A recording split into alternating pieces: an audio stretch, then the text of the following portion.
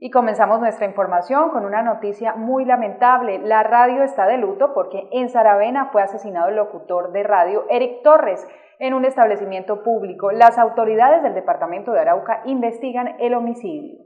La radio en el departamento de Arauca se encuentra de luto por el asesinato del locutor y productor de radio y presentador de eventos Eri Torres, quien laboraba en el municipio de Arauquita. Este joven profesional de la radio fue asesinado el pasado jueves 28 de marzo del presente año sobre las 10 de la noche en un establecimiento público en el municipio de Saravena. Eri Torres era un joven que se dedicaba a la locución y producción de radio en la emisora Arauquita Stereo. También era animador de eventos de varias firmas comerciales en esa localidad. Los sicarios le dejaron un letrero junto a su cuerpo en el establecimiento donde fue asesinado, donde decía por qué lo habían asesinado. Las autoridades del Departamento de Policía de Arauca investigan este homicidio que enluta la radio en esta región del país. Según familiares y compañeros de trabajo de Eri Torres en el municipio de Arauquita, este joven jamás había denunciado amenazas en su contra, por eso le han hecho un llamado a los grupos al margen de la ley para que se pronuncien por qué lo asesinaron.